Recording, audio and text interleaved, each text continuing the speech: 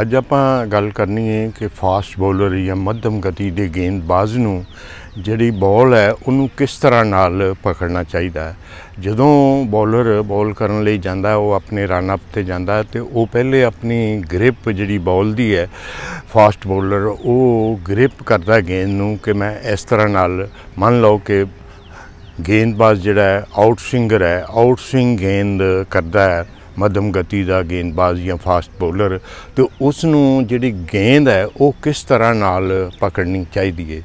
ਆ ਦੇਖੋ ਆ ਮੇਰੇ ਕੋਲ ਗੇਂਦ ਹੈ ਔਰ ਇਹ ਸੀਨ ਹੈ ਔਰ ਜਦੋਂ ਆਊਟ ਸਿੰਗਰ ਨੇ ਗੇਂਦ ਨੂੰ ਪਕੜਨਾ ਹੈ, ਤਾਂ ਆ ਜਿਹੜੀਆਂ ਦੋਨੋਂ ਉਂਗਲਾਂ ਨੇ, ਇਹ ਜਿਹੜੀ ਸੀਮ ਹੈ, ਉਹਦੇ ਤੋਂ ਦੋਨੋਂ ਉਂਗਲਾਂ ਜਿਹੜੀਆਂ ਨੇ, ਉਹ ਸਾਈਡ ਤੇ ਹੋਣੀਆਂ ਚਾਹੀਦੀਆਂ ਨੇ ਔਰ ਜਿਹੜੀ ਸੀਮ ਹੈ, ਉਹ ਸਿੱਧੀ ਨਹੀਂ ਹੋਣੀ ਚਾਹੀਦੀ। ਆ ਜਿਸ ਤਰ੍ਹਾਂ ਕਿ ਇਹ ਸਿੱਧੀ ਸੀਮ ਹੈ ਔਰ ਇਹਨੂੰ ਥੋੜਾ ਜਿਹਾ ਫਸਟ ਸਲਿਪ ਵੱਲ ਬੋਲਰ ਨੂੰ ਟਰਨ ਕਰਨਾ ਚਾਹੀਦਾ ਤਾਂ ਕਿ ਅਸੀਂ ਆਊਟ ਸਵਿੰਗਰ ਹਾਂ ਔਰ ਜਦੋਂ ਗੇਂਦ ਨੇ ਟੱਪਾ ਖਾਣਾ ਔਰ ਗੇਂਦ ਨੇ ਬਾਹਰ ਨਿਕਲਣਾ ਤਾਂ ਇਸ ਕਰਕੇ ਗੇਂਦ ਜੇ ਅਗਰ ਗੇਂਦ ਸਿੱਧੀ ਰਹੇਗੀ ਤੇ ਉਹ ਘੱਟ ਸਵਿੰਗ ਹੋਏਗੀ। ਟੱਪਾ ਖਾਣ ਤੋਂ ਬਾਅਦ ਵੀ ਬਾਹਰ ਇੰਨੀ ਨਹੀਂ ਜਾਏਗੀ।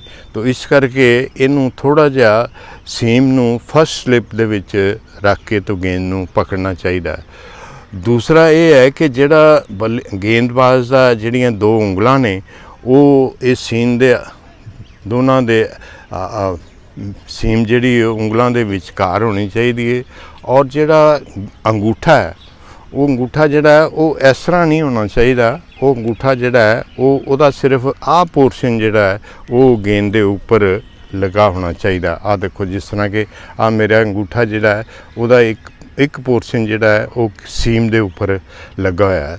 ਦੂਸਰਾ, ਕਈ ਗੇਂਦਬਾਜ਼ ਜਿਹੜੇ ਨੇ, ਉਹ ਗੇਂਦ ਨੂੰ ਜਦੋਂ ਪਕੜਦੇ ਨੇ, ਤੇ ਉਹ ਜਿਹੜਾ ਗੇਂਦ ਹੈ, ਉਹਨਾਂ ਦੀ ਐਸ ਇਹ- ਇਹਦੇ ਨਾਲ ਜਾ ਕੇ ਲੱਗਦਾ ਇਸ ਤਰ੍ਹਾਂ ਨਾਲ ਉਹ ਗੇਂਦ ਪਕੜਦੇ ਨੇ। ਜੇ ਉਹ ਇਸ ਤਰ੍ਹਾਂ ਅਸੀਂ ਗੇਂਦ ਪਕੜਾਂਗੇ ਤੇ ਉਹਦੇ ਨਾਲ ਸਾਡੀ ਸਪੀਡ ਜਿਹੜੀ ਹੈ ਉਹ ਚੈੱਕ ਹੋਏਗੀ। ਜੇ ਕੋਈ ਗੇਂਦਬਾਜ਼ 120 ਦੀ ਸਪੀਡ ਤੇ ਗੇਂਦ ਕਰਦਾ, ਤਾਂ ਇਹਦੇ ਨਾਲ ਸਪੀਡ ਜਿਹੜੀ ਹੈ ਉਹ ਘਟੇਗੀ। 120 ਤੋਂ 115 ਹੋ ਜਾਏਗੀ 110 ਹੋ ਜਾਏਗੀ।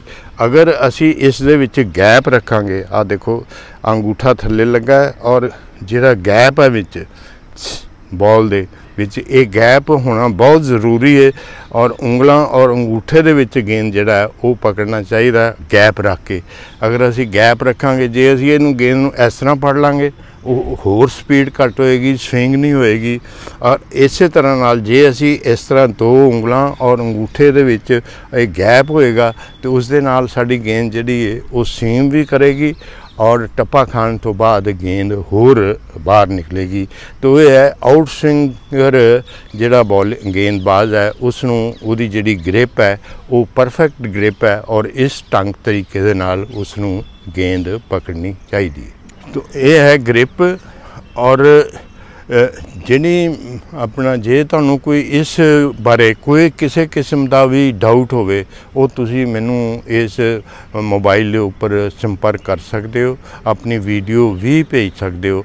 ਔਰ ਦੂਸਰੀ ਗੱਲ ਖਾਸ ਖਿਆਲ ਰੱਖਣਾ ਹੈ ਕਿ ਆ ਜਿਹੜਾ, ਆ ਜਿਹੜੀ ਥਰਡ ਫਿੰਗਰ ਹੈ ਥਰਡ ਫਿੰਗਰ ਦਾ ਜਿਹੜਾ ਆ ਬਾਹਰਲਾ ਪੋਰਸ਼ਨ ਹੈ, ਆ ਜਿਹੜਾ ਇਹ ਬਾਲ ਦੇ ਨਾਲ ਲੱਗਾ ਹੋਣਾ ਚਾਹੀਦਾ, ਨਾ ਕਿ ਪੂਰੀ ਫਿੰਗਰ ਜਿਹੜੀ ਹੈ ਇਹ ਬਾਲ ਦੇ ਉੱਪਰ ਹੋਣੀ ਚਾਹੀਦੀ ਹੈ ਇਹਦੇ ਨਾਲ ਵੀ ਜੇ ਅਸੀਂ ਇਸ ਤਰ੍ਹਾਂ ਗੇਂਦ ਪਕੜਾਂਗੇ ਤੇ ਇਹਦੇ ਨਾਲ ਵੀ ਸਾਡੀ ਜਿਹੜੀ ਸਪੀਡ ਹੈ, ਉਹ ਚੈੱਕ ਹੋਏਗੀ ਔਰ ਸਵਿੰਗ ਜਿਹੜੀ ਹੈ ਉਹ ਵੀ ਘੱਟ ਹੋਏਗੀ। ਉਹ ਇਸ ਕਰਕੇ ਇਹ ਜਿਹੜਾ ਹੈ ਆ ਜਿਹੜਾ ਥਰਡ ਫਿੰਗਰ ਦਾ ਆ ਜਿਹੜਾ ਕੱਟ ਹੈ, ਇਹ ਬਾਲ ਦੇ ਨਾਲ ਲੱਗਾ ਹੋਣਾ ਜ਼ਰੂਰੀ ਹੈ ਔਰ ਇਸ ਤਰ੍ਹਾਂ ਹੀ ਇਹ ਗ੍ਰਿਪ ਪਰਫੈਕਟ ਹੈ ਕੋਚ ਰਜਿੰਦਰ ਸਿੰਘ ਤੋਂ ਤੁਸੀਂ ਕ੍ਰਿਕਟ ਤਕਨੀਕ ਦੀਆਂ ਬਾਰੀਕੀਆਂ ਜਾਣ ਰਹੇ ਸੀ। ਜੇ ਤੁਸੀਂ ਕ੍ਰਿਕਟ ਖਿਡਾਰੀ ਹੋ ਬੈਟਿੰਗ ਬੋਲਿੰਗ ਵਿਕਟ ਕੀਪਿੰਗ ਜਾਂ ਫੀਲਡਿੰਗ ਦੇ ਨਾਲ ਜੁੜੀ ਤੁਹਾਡੀ ਕੋਈ ਤਕਨੀਕੀ ਸਮੱਸਿਆ ਹੈ, ਤਾਂ ਤੁਸੀਂ ਆਪਣੀ ਵੀਡੀਓ ਬਣਾ ਕੇ ਸਾਨੂੰ ਭੇਜ ਸਕਦੇ ਹੋ।